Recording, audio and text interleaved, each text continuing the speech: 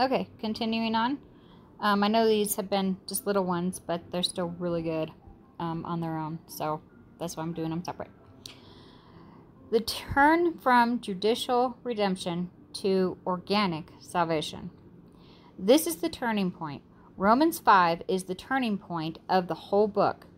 Amen. We go from judicial redemption to organic salvation in this verse. For if when we were enemies, we were reconciled to God by death of his Son. Much more, being reconciled, we shall be saved by his life. In the resurrected Christ, this is his life that he who now indwells us and is working from within us to gather us into himself and saturate us with himself so that we become a rejoicing people. This is the salvation of our souls. It's not just enough that God saved your soul. 1 Peter 1 8 9. Whom, having not seen, you love, in whom, though now you see him not, yet believing, you rejoice with joy unspeakable and full of glory. Amen. Receiving the end of your faith even the salvation of your souls. Amen. He wants your mind, will, and emotions to be permeated with Christ Himself. Amen.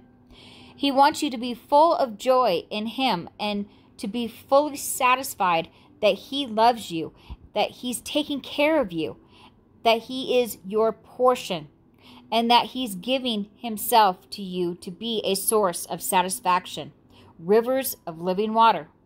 He really wants you to drink. John 7 37 through 39. Amen. All he cares about is that you would enjoy him to be satisfied, and through the satisfaction, your satisfaction in him, Christ, would flow out. Amen. This is what God wants to see God's purposes fulfilled because Christ is manifested and you're satisfied. Amen. This is what satisfies God, and this is salvation in life. Amen. Ultimately, that salvation in life will conform us to the image of Christ. But more importantly, now he wants to satisfy you with himself, and he's doing it. Amen. It's not by you deciding to be happy and reading a book about how to be happy, but he visits you again and again and again, speaking life into you, shining upon you and impressing himself into you through his speaking. And emphasis is entirely to get your focus on Christ and for you to enjoy him and then to get Christ flowing through you.